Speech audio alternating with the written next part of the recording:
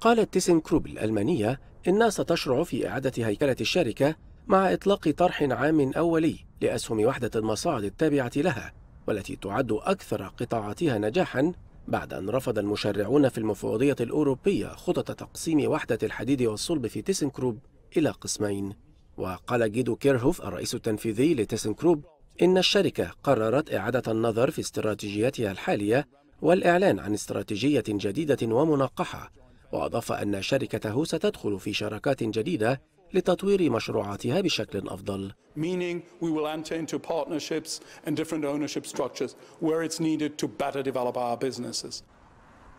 وحاولت تيسن كروب دمج وحدة الصلب التابعة لها مع العمليات الأوروبية لشركة تاتا ستيل الهندية للصلب وتقسيم باقي الشركة الألمانية العملاقة إلى قسمين في محاولة لرفع قيمة مشروعاتها الصناعية